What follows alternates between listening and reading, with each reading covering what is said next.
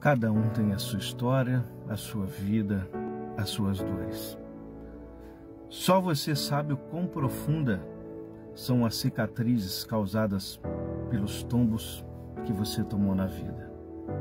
Só você sabe pelo que você passou, quantas vezes você teve que se levantar, enxugar as lágrimas e histórias da vida recomeçar. Só você sabe disso. Então não deixa que ninguém lhe diga que você não consegue. Sabe de uma coisa? As pessoas elas gostam de falar sobre o que não conhecem.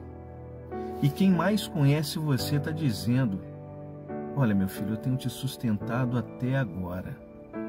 Te levantei todas as vezes em que você caiu. Você vai conseguir, porque eu, teu Deus, estou contigo.